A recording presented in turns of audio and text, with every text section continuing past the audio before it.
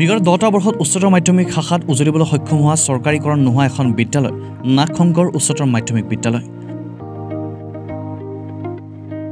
সুদীৰ্ঘ সময়ে বিদ্যালয়তে সামান্যতম আৰ্থিক পাৰিশ্ৰমিকৰে কেইগৰাকীমান শিক্ষক শিক্ষয়িত্ৰীয়ে। গ্ৰামাঞ্চলৰ ছাত্ৰ ছাত্ৰীসকলক শিক্ষাদান কৰি ভৱিষ্যতৰ দিনত মানৱ সম্পদ গঢ়াৰ ক্ষেত্ৰত গুৰুত্বপূৰ্ণ ভূমিকা গ্ৰহণ কৰি আহিছে।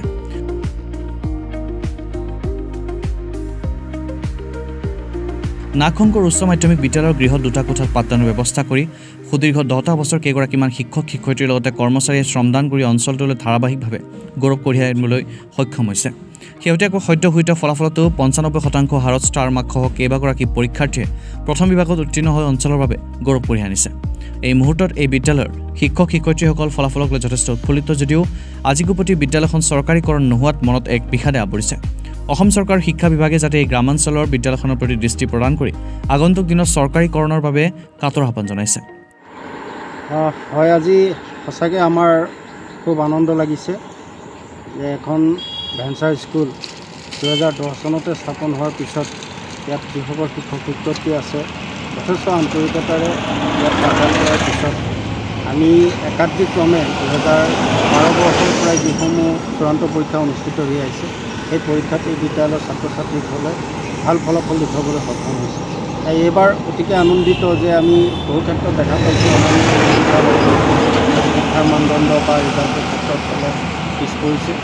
আমাৰ বিদ্যালয়খনত এইবাৰ চৌৰান্নব্বৈ দশমিক চাৰি চাৰি শতাংশ উত্তীৰ্ণ হাৰেৰে ছাত্ৰ ছাত্ৰীসকলে ভাল ৰিজাল্ট কৰিছে। ইয়াতে প্ৰথম বিভাগত পাঁচজন উত্তীৰ্ণ হৈছে। তাৰে এগৰাকী ষ্টাৰ পাইছে আৰু দ্বিতীয় বিভাগত ষোল্লজন তৃতীয় বিভাগত তেৰজন।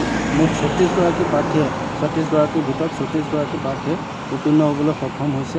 ইয়াৰ ভিতৰতে অসমীয়া বিষয়ত এজন পলিটিকেল ছায়েন্সত দুজন আৰু ফিল'চফিত এজন। লগতে জিঅ'গ্ৰাফী বিষয়ত সৰ্বাধিক আঠজন ছাত্ৰ ছাত্ৰীয়ে লেটাৰ মাৰ্কছ পাবলৈ সক্ষম হৈছে। আৰু মোৰ কাৰণে এটা আনন্দৰ বিষয় যে মই আপোনালোকেও জানে সকলোৱে জানে যে মোৰ এটা ৰাজহুৱা দায়িত্ব আছে নাওশংকৰ জিলা পৰিষদৰ সদস্য। ইয়াৰ আগতে মই বিদ্যালয়খনত প্ৰত্যক্ষভাৱে জড়িত আছিলোঁ।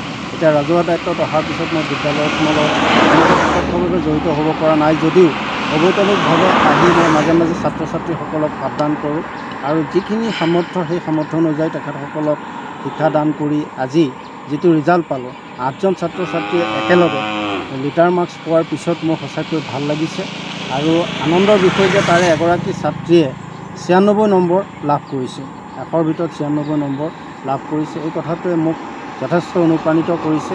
আৰু মই ছাত্ৰ ছাত্ৰীসকলক বিদ্যালয় কৰ্তৃপক্ষকো জনাইছোঁ যে যেতিয়ালৈকে মই পাৰোঁ তেতিয়ালৈকে মই অবতনিকভাৱে যেনেদৰে আগতে পাঠদান কৰিছিলোঁ তেনেদৰে মই পাঠদান কৰি ছাত্ৰ ছাত্ৰীসকলক আগবঢ়াই লৈ যাম বুলি আশা কৰিছোঁ।